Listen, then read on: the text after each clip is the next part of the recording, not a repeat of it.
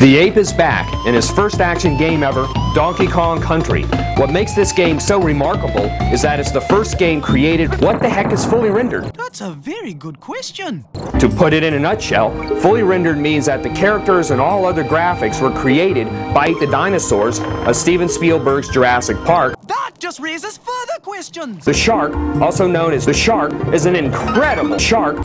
The programmers of Donkey Kong Country were able to stretch their bananas. The music also adds a lot to the game. Play it loud and stereo, dude. Donkey Kong Country is truly stupid.